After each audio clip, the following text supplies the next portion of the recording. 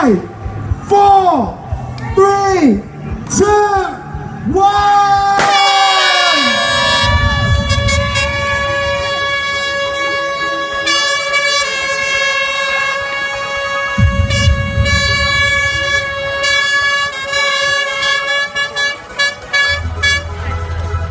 And now, ladies and gentlemen, we have officially started our 10 kilometer run of our Kuching Marathon 2016. So, dear runners,